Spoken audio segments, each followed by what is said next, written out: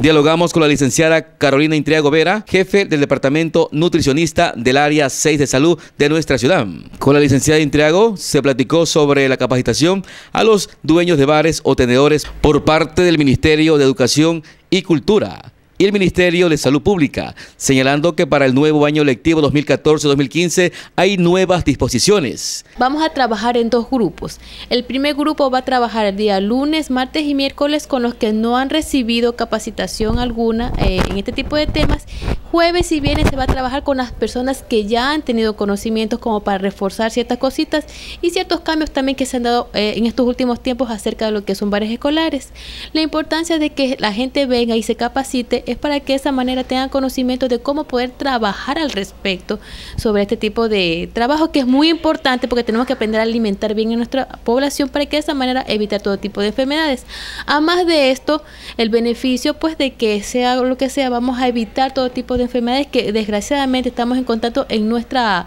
en nuestra población, niños con obesidad, niños con problemas de dislipidemias y otro tipo de complicaciones. Hasta desgraciadamente hemos visto niños con ya con diabetes. Entonces, este tipo de, capacitaciones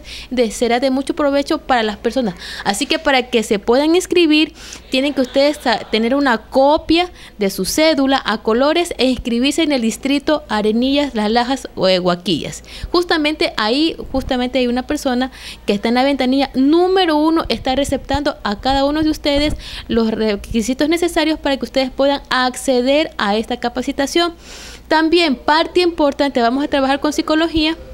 porque siempre tenemos que buscar la manera de que también las personas que van a trabajar y que van a atender al público tienen que tener cómo aprender a comportarse, cómo tratar al público, porque eso también es parte importante. Además de la alimentación, el buen trato que siempre, como nos ha dicho el Ministerio de Educación y el Ministerio de Salud Pública, parte importante el buen trato al usuario, al paciente, que es parte importante y del cual tenemos que nosotros atenderlo y que también recibir el respeto de ellos. Con la venta de los alimentos saludables en los bares escolares, o sea, los alimentos naturales o elaborados en forma artesanal. Todo tipo de alimentos naturales, por ejemplo, este bolos por ejemplo, caseros, por ejemplo, leche con, con mango, por ejemplo, un tipo de opción, eh, los tipos de cakes, uno mismo hacer todo lo que son galletas, todo ese tipo de productos artesanales hechos en el momento para que de esa manera sea más sano, más natural y evitando, claro, en lo posible todo el tipo de alimentos como embutidos, enlatados, frituras, que justamente en esta capacitación vamos a prohibir todo tipo de frituras porque ya hemos encontrado en nuestra consulta niños con dislipidemia, colesterol, triglicéridos altos. Entonces eso como que estamos mal y tenemos que trabajar mucho al respecto con, las personas que están al, presente en este tipo de bares. Asimismo, estarán analizando el contenido nutricional de los alimentos procesados que mayor demanda tienen en los bares escolares, determinando si son o no saludables y actos para el consumo de los niños o niñas de la provincia y del país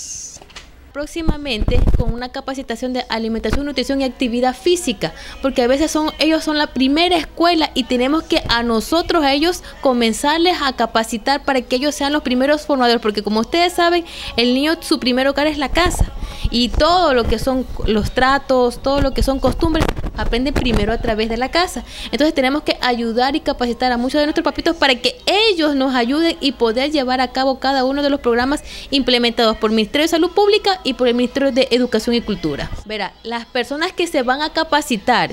tienen, sola, tienen que capacitar dueños y las personas que ayudantes por favor, tengan muy presente, dueños y ayudantes tienen que capacitarse en este tipo de, capacitación. No solamente el dueño, porque ¿qué pasa? Muchas veces el dueño por cosas de la vida se va y quedan los ayudantes al frente de este tipo de, de, bares. Y cuando se les va a hacer una inspección, a ver señores, por favor, el certificado, certificado de salud, certificado del curso de manipulación, ¿qué pasa? La gente no tiene. Entonces eso es un problema y después por eso los cierres intempestivos y los problemas. Entonces todas las personas que tienen a cargo bares y que son ayudantes tienen que estar también capacitados y recibir certificado de salud acá en el hospital, certificado de, manipulación que lo está extendiendo el Ministerio de Educación y Cultura.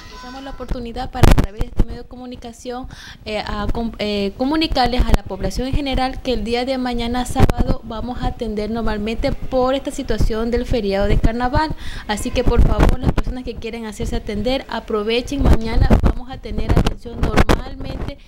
caso de nosotros de 8 a, a las 16 horas 30 y en los otros compañeros de las, de las otras áreas en especiales, sobre todo de emergencia, que tienen las 24 horas sin ningún tipo de inconveniente. Así que por favor vengan, háganse atender, porque de esa manera pues, como que aprovechamos un día pues para que eh, es muy importante y tenemos que darle siempre la atención del caso.